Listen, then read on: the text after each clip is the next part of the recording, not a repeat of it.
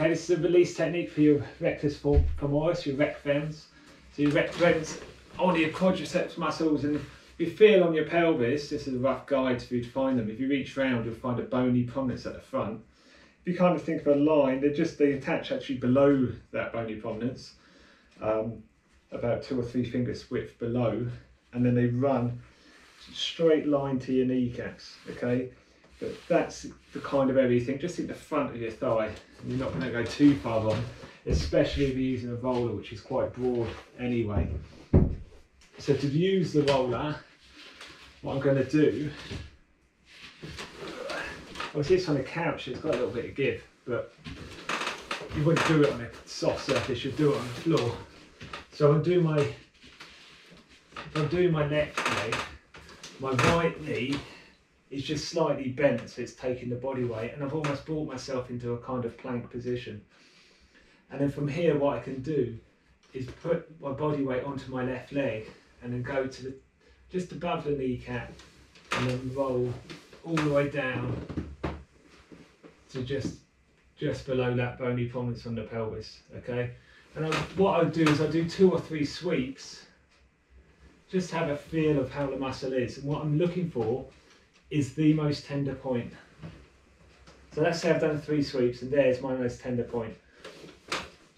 Here I've got a couple of options. I can either hang out, I can just hang out on this point for 30 seconds to up to two minutes to see if that's enough to get the muscle to release or for the pain to dissipate. Okay. Or what I can do is I can roll slightly above the painful points. The painful point's just above the roller now. And then what I'm going to do is I'm going to lean my body weight onto my left leg, so that provides a lock. Then I'm going to bring my heel to my bum, and that's the stretch. I'll then hold one, two, and then release. Take the body weight off, return the foot. So it's lock with body weight, stretch with the heel, one, two, release. And I can do up to 12 to 20 of these, just working on that area and say that's that's 20. What I can then do is just give it a roll over and then go back onto it and see if that has eased off. If it's eased off, I'll move on to the next one. If it hasn't, I'll probably just hang out on it just for a little bit, see if it will release. The alternate way you can do it is not with a roller, but with a ball or can be a little bit more specific so you can get into generally I like to do a, a roller first just to get everything feeling better and then you can really hunt for stuff with a ball especially a spiky one. On the couch it's not going to give me as much uh, pressure up through this I wouldn't do this on the couch do on the floor. I'm purely using the couch for camera angle reasons. But I'm going to do it in exact same manner. Everything can be done in the same manner as with the roller. So you can roll the ball all the way down, all the way up, find the tender point, hang out. If I want to do my, my lock, stretch, release, I'll bring it just above, lean on, lock, heel to bum, stretch, one, two, release.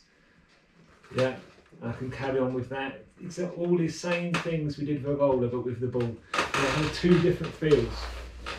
Yeah, and you may find things, particularly with spiky ball, you didn't find with the roller. But it's a matter of personal preference and it's a matter of what you've got at home as to what you use. Um, both are available to buy here, by the way. Um,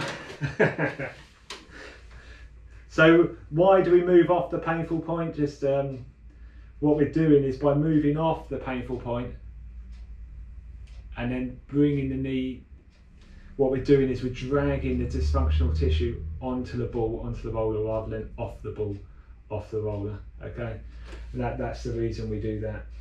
But have a play with both, see what you think, uh, and there you go.